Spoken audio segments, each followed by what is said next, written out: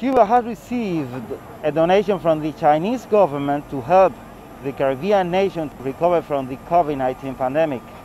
The consignment was comprised of 22 tons of medical supplies, including COVID-19 rapid antigen kits, surgical gloves, and protective suits.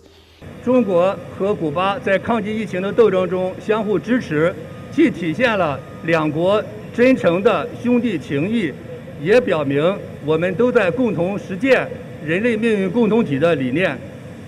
It adds to 30 ventilators and 160 oxygen concentrators donated by China to Cuba in recent days. Toda esta ayuda es un ejemplo para toda la comunidad internacional. China no solo ayuda a Cuba, ayuda a otros muchos países que lo necesitan porque la pandemia es global, afecta a todos y tenemos que enfrentarla unidos.